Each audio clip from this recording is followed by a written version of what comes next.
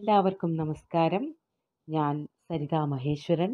ഇന്ന് ശ്രീകൃഷ്ണ കരുണാമൃതത്തിലെ ഒന്നാമത്തെ സർഗത്തിലെ അറുപത്തൊന്നാമത്തെയും അറുപത്തിരണ്ടാമത്തെയും ശ്ലോകങ്ങൾ നമുക്ക് പഠിക്കാം.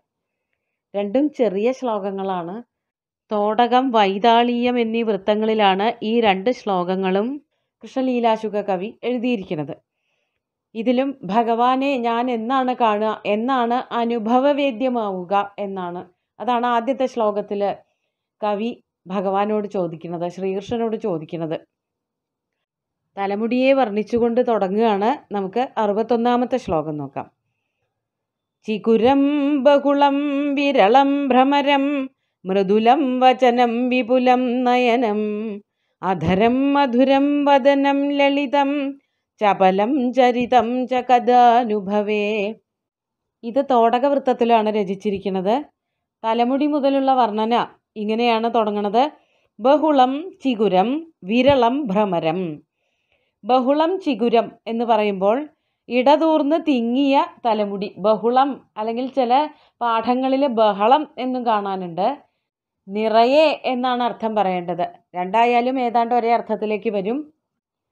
ശ്രീകൃഷ്ണന്റെ നെറ്റിയിൽ നിറച്ച് തലമുടിയുണ്ട്. ആ തലമുടിയിൽ ചിലതൊക്കെ അളകങ്ങളാണ്. തലമുടി ഇങ്ങനെ പീലിത്തിരിമുടി കൂട്ടി കെട്ടി വെച്ചിട്ടുണ്ട്.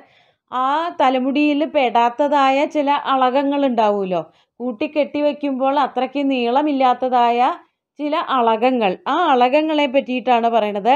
വിരളം ഭ്രമരം എന്ന്. അതിങ്ങനെ ഉരുണ്ടുരുണ്ട് ചുരുണ്ട് നിൽക്കുന്നത് കൊണ്ട് ഉരുണ്ട് നിൽക്കുന്ന നെറ്റിയിൽ ഇങ്ങനെ ഉരുണ്ട് നിൽക്കുകയാണ്. അത് കണ്ട ചെറിയ കുഞ്ഞു കുഞ്ഞു വണ്ടുകൾ വന്നിരിക്കുകയാണോ എന്ന് തോന്നും എന്നാണ് പറയണത്. ഭ്രമരങ്ങളെ പോലെയുള്ള ഉരുണ്ട ആകൃതിയിലുള്ള ഈ കുറുനിരകൾ. മറ്റു ചില വ്യാഖ്യാനങ്ങളിൽ കൊടുക്കുന്നുണ്ട്. ഈ തലമുടിക്ക് നല്ല വാസനയൊക്കെ ഉണ്ട്. പൂക്കളും അതുപോലെ തന്നെ പീലിത്തിരിമുടിയൊക്കെ ചൂടി വച്ചിരിക്കുന്നതായ ആ തലമുടി അതിന്റെ ഗന്ധം നുകരാൻ വേണ്ടിയിട്ട് ഇടയ്ക്കിടയ്ക്ക് വണ്ടുകൾ പാറി വരുന്നുണ്ട് എന്നും പറയുന്നുണ്ട്. രണ്ടർത്ഥവുമാകാം ആദ്യത്തേതിന് കുറച്ചും കൂടി ഒരു കുട്ടിത്തവും സൗന്ദര്യവും ഉണ്ട് തോന്നുന്നു. ഇങ്ങനെ ചുരുണ്ട് കിടക്കുന്ന തലമുടികളെ കണ്ടാൽ വണ്ടുകളാണോ എന്ന് തോന്നും എന്ന്. അവിടെ ഒരു ഉപമാലങ്കാരം അല്ലെങ്കിൽ ഒരു ഉത്പ്രേക്ഷാലങ്കാരം ഒക്കെ വരുന്നുണ്ട്. മറ്റതൊരു വാച്യമായിട്ടുള്ള അർത്ഥമേ ഉള്ളൂ. വണ്ടുകൾ വരികയാണ് എന്ന് പറയുമ്പോൾ അതിന് സൗന്ദര്യമില്ല എന്നല്ല പക്ഷേ ഈ തലമുടിയുടെ കറുപ്പും അതിന്റെ ആ ചുരുണ്ട അവസ്ഥയും കൂടി കാണുമ്പോൾ ചിലപ്പോൾ അത് വണ്ടാണോ എന്ന് തോന്നിപ്പോകുന്ന ആ ഒരു തിരുനെറ്റി. അതാണ് വിരളം ഭ്രമരം എന്ന വാക്കുകൊണ്ട് ഉദ്ദേശിച്ചത്. വണ്ടുകളെ പോലെ പാറിപ്പറക്കുന്നതായ കുറുനിരകളും. ഇനി മൃദുലം വചനം. മൃദുവായ കൊഞ്ചിക്കൊണ്ടുള്ള ഭാഷണങ്ങളും.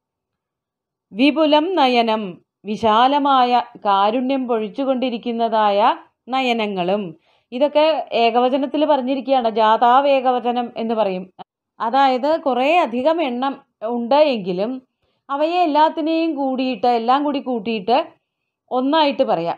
പശുവിനെ ദാനം ചെയ്യുക എന്ന് പറയുമ്പോൾ പശുക്കളെ തന്നെയാണ് ദാനം ചെയ്യുന്നത്. ഒരു പശുവിനായിട്ടല്ല ദാനം ചെയ്യുന്നത് എങ്കിലും പശുവിനെ ദാനം ചെയ്യുക എന്ന് പറയാറുണ്ട്. അപ്പോൾ ഇവിടെയൊക്കെ കുറേ പശുക്കളെ സൂചിപ്പിക്കുന്നതിന് വേണ്ടിയിട്ട് പശു എന്ന് മാത്രം പറയാറുണ്ട്. അതുപോലെയാണ് ഇവിടെ വചനം എന്നുള്ളത് കൊണ്ട് ഒറ്റ വാക്കല്ല നയനം എന്നുള്ളത് കൊണ്ട് ഒരു കണ്ണല്ല. ഇതൊക്കെ ആവശ്യാനുസരണം ചില ദിക്കിൽ ബഹുവചനവും ചിലപ്പോൾ ദ്വിവചനമൊക്കെ എടുക്കേണ്ടി വരും. അതൊക്കെ നമ്മൾ സ്വീകരിക്കുക. അത് മനസ്സിലാക്കിക്കൊണ്ട് തന്നെ അർത്ഥം വ്യാഖ്യാനിച്ചാൽ മതി. ഇങ്ങനെയുള്ള പ്രയോഗങ്ങൾ ധാരാളമായിട്ട് സംസ്കൃത ഭാഷയിൽ ഉണ്ട്. അപ്പോൾ ഇവിടെ പറയുകയാണ് മൃദുലം വചനം മൃദുവായി കൊഞ്ചിക്കൊണ്ടുള്ള ഭാഷണങ്ങൾ വിപുലം നയനം വിശാലമായ നേത്രദ്വയങ്ങൾ മധുരം അധരം. മാധുര്യമേറിയ അധരങ്ങൾ. അവിടെയും ചുണ്ടുകൾ രണ്ടെണ്ണം ഉണ്ട് പക്ഷേ ചുണ്ട് ഒന്നായിട്ടേ പറഞ്ഞിട്ടുള്ളൂ. അതിനുശേഷം പറയാണ് ലളിതം വദനം. മുഖം ഏകവചനത്തിൽ തന്നെയാണ് പറയേണ്ടത്. ആ ലളിതമായിട്ടുള്ള സുന്ദരമായിട്ടുള്ള മുഖത്തെയും ചപലം ചരിതം. ചരിതം എന്ന് പറഞ്ഞാൽ സഞ്ചരിക്കലാണ് ഉദ്ദേശിക്കുന്നത്. ഒരു ദിക്കിൽ നിന്ന് വേറൊരു ദിക്കിലേക്ക് നടന്നു പോവുക ഓടിപ്പോവുക ചാടി പോവുക. ചെറിയ കുട്ടികളാകുമ്പോൾ ഇങ്ങനെ ചാടി ചാടി ചാഞ്ചാടിയൊക്കെയാണല്ലോ നടന്നു പോവുക. ആ നടത്തത്തിനെയാണ് ഇവിടെ ചപലം ചരിതം എന്ന് പറയണത്. നന്നായി ഓടി നടക്കാറായിട്ടില്ലെങ്കിലും തെറ്റി തെറ്റി ഇങ്ങനെ വീഴാൻ ഭാഗത്തിന് ഓടിക്കൊണ്ടിരിക്കുന്ന ആ ഒരു ഓട്ടം അല്ലെങ്കിൽ നടത്തം. ഇതൊക്കെ കഥാ അനുഭവേ എപ്പോഴാണാവോ എനിക്ക് അനുഭവപ്പെടുക? ഉണ്ണികൃഷ്ണനെ ഞാൻ എന്നാണാവോ ഇങ്ങനെയൊക്കെ കാണുക എന്നാണ് ചോദിക്കുന്നത്. കഥാനുഭവേ എന്നും പറയാം. ഇത് പദം മുറിച്ചിട്ട് കഥ ഭവേ എന്നും പറയാം. എപ്പോൾ ആണാവോ അത് എന്റെ മുമ്പിൽ ഭവിക്കുക പ്രത്യക്ഷപ്പെടുക എന്ന അർത്ഥവും എടുക്കാം. അപ്പോൾ ഞാൻ എന്നനുഭവിക്കും എന്നും പറയാം. എന്ന് എന്റെ മുമ്പിൽ ഭഗവാൻ ഇങ്ങനെ പ്രത്യക്ഷപ്പെടും എന്നുള്ള ചോദ്യവും ഇവിടെ കവി ഉദ്ദേശിക്കുന്നുണ്ട്. ഇവിടെ ഭൂപ്രാപ്തവും ആത്മനേപതേ എന്നുള്ള ആ ഒരു നിയമം വച്ചിട്ട് ഭൂധാതു സാധാരണമായിട്ട് പരസ്മൈപദമാണ് എങ്കിലും എന്നാണ് ഇത് അനുഭവിക്കുക? പ്രാപ്തി ഉണ്ടാവുക എനിക്ക് എന്നാണ് ഇത് കാണാൻ പറ്റുക എന്നുള്ള അർത്ഥത്തിൽ ഭൂധാതു ആത്മനേപദത്തിലാണ് പറഞ്ഞിരിക്കുന്നത്. അതുകൊണ്ടാണ് അനുഭവേ എന്നുള്ള ആ ഒരു പ്രയോഗം ഇവിടെ വന്നിരിക്കുന്നത്. ഇനി അതിനുശേഷം ഭഗവാൻ നമ്മളെ രക്ഷിക്കട്ടെ എന്ന് ആശംസിക്കുന്നതായിട്ടുള്ള അടുത്ത ശ്ലോകം അറുപത്തിരണ്ടാമത്തെ ശ്ലോകം നോക്കൂ. പരിപാലയ നകൃപാലയേത്യസകൃജ്ജൽപിതമാത്മബാന്ധവ മുരളീമൃദുലസ്വനാന്തരേ വിഭുമാകർണയിതാ കഥാനുന. ഭഗവാൻ കാരുണ്യക്കടലാണ്. ഇവിടെ ഭഗവാനെ വിളിക്കുകയാണ് കൃപാലയ. കൃപയുടെ കരുണയുടെ ആലയമേ. കരുണ മുഴുവനും അവിടെയാണ് ചെന്ന് കൂടിയിരിക്കുന്നത്. അങ്ങനെയുള്ള ഭഗവാനെ കാരുണ്യനിധേ പരിപാലയ ന ഇതി. ഞങ്ങളെല്ലാവരും കൂടി ഇരുന്നു കൊണ്ട് ഭഗവാൻ കേൾക്കെ ഇങ്ങനെ പ്രാർത്ഥിക്കുകയാണ്. ഞങ്ങളെല്ലാവരെയും അങ്ങ് രക്ഷിക്കണേ എന്ന്. അതാണ് പരിപാലയ ന ഇതി. ഞങ്ങളെ എല്ലാവരെയും തന്നെ എന്നെ അല്ലെങ്കിൽ നമ്മളെ ഭക്തന്മാരെ എല്ലാവരെയും രക്ഷിക്കണേ എന്ന് അസകൃത് ജൽപ്പിതം അസകൃത് എന്നുള്ളത് കൊണ്ട് എല്ലായ്പ്പോഴും തുടരെ തുടരെ അതല്ലേ എപ്പോഴും ഞങ്ങൾ എല്ലാവരും പ്രാർത്ഥിച്ചു കൊണ്ടിരിക്കുന്നത് എന്ന് പറഞ്ഞാൽ ഏകവാരം ഒറ്റത്തവണ. ആ അസകൃത്ത് എന്ന് പറഞ്ഞാൽ പലതവണ. പലതവണ ഇങ്ങനെ അപേക്ഷിക്കുന്നത്. ആത്മബാന്ധവ മുരളീമൃദുലസ്വനാന്തരേ. അത് അങ്ങനെ അപേക്ഷിക്കുന്നത് ഭഗവാന്റെ മുമ്പിലാണ്. ഭഗവാൻ നമുക്ക് ആരാണ്? ആത്മബന്ധുവാണ്. ആത്മബാന്ധവ മുരളീമൃദുലസ്വനാന്തരേ. നഹ കഥാനു വിഭും ആകർണയിത. ഭഗവാൻ എപ്പോഴും ഓടക്കുഴലിൽ വിളിച്ചിട്ടൊക്കെയാണല്ലോ ഇരിക്കുക.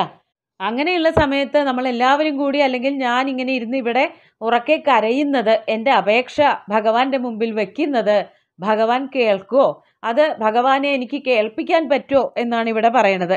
മുരളി മൃദുലസ്വനാന്തരെ മൃദുലമായ വേണുഗാനം. അതിങ്ങനെ നടത്തിക്കൊണ്ടിരിക്കുകയാണ്. ഭഗവാന്റെ ശ്രദ്ധ മുഴുവനും മുരളി ഊതുന്നതിലായിരിക്കും. ആ സമയത്ത് നഹ ഞാൻ കഥാന്നു വിഭും ആകർണയിത എനിക്ക് ഞാൻ എന്നുള്ളതിന് ഇവിടെ എനിക്ക് എനിക്ക് എപ്പോഴാണ് ഭഗവാനെ കേൾപ്പിക്കാൻ സാധിക്കുക? ഭഗവാൻ വേണു ഓതുന്നതിൽ മാത്രം ശ്രദ്ധിച്ചുകൊണ്ടിരിക്കുമ്പോൾ എന്റെ ഈ പ്രാർത്ഥന കേൾക്കുമോ എന്നുള്ള ആ ഒരു ചിന്ത അല്ലെങ്കിൽ ആ ഒരു ആവലാതി കൃഷ്ണലീലാശുഖന്റെ മനസ്സിലേക്ക് കയറി വരികയാണ്.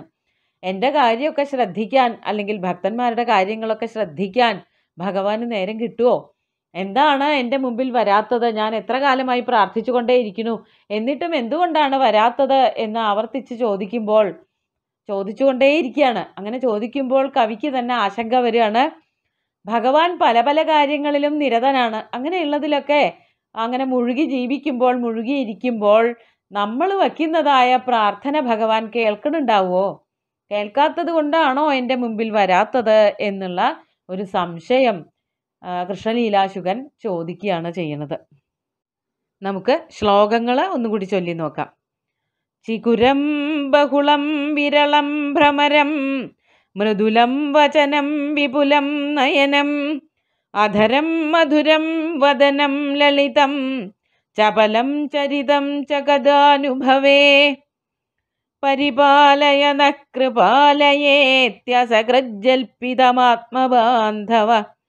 കൃപാലയേത്യസകൃജ്ജൽപിതമാത്മബാന്ധവ മുരളീമൃദുലസ്വനാന്തരേ വിഭുമാകർണയിത കഥാനുന. ഓടി ഓടി നടന്നുകൊണ്ടിരിക്കുന്ന ആ ഭഗവാൻ എന്റെ അടുത്തേക്ക് ഓടി വരണം എന്ന് തന്നെയാണ് കൃഷ്ണലീലാശുകന് എപ്പോഴും പ്രാർത്ഥിക്കാനുള്ളത് മോഹിക്കാനുള്ളത്. പക്ഷേ അങ്ങനെയൊക്കെയുള്ള അവസ്ഥയിൽ ഭഗവാൻ വേണു ഊതിക്കൊണ്ടിരിക്കുകയാണ് എങ്കിൽ പിന്നെ ഞാൻ പറയണത് ശ്രദ്ധിക്കോ? വേണുഗാനത്തിൽ സ്വയം ലയിച്ചു നിൽക്കുന്ന ഭഗവാൻ എന്റെ അപേക്ഷ കേൾക്കുമോ? ആവോ? എന്നുള്ള വ്യംഗ്യമാണ് ഈ രണ്ടാമത്തെ ശ്ലോകത്തിൽ നമുക്ക് മനസ്സിലാക്കാൻ പറ്റുക. നമുക്ക് എല്ലാവർക്കും ഭഗവാനോട് പ്രാർത്ഥിക്കാം. എങ്ങനെയൊക്കെ വേണുകൂതി നടന്നാലും എത്ര തിരക്കുകളൊക്കെ ഉണ്ടെങ്കിലും നമ്മുടെയൊക്കെ പ്രാർത്ഥന പരിഗണിക്കണേ നമ്മുടെ മുമ്പിൽ വന്ന് പ്രത്യക്ഷനാവണേ എന്ന് പ്രാർത്ഥിച്ചുകൊണ്ട് ഈ ശ്ലോകം ഭഗവാന്റെ മുമ്പിൽ അർപ്പിച്ചുകൊണ്ട് ശ്രീകൃഷ്ണ ഭഗവാന്റെ മുമ്പിൽ സാഷ്ടാംഗം പ്രണമിച്ച് എല്ലാവർക്കും ശുഭദിനം നേർന്നു നിർത്തട്ടെ. നന്ദി.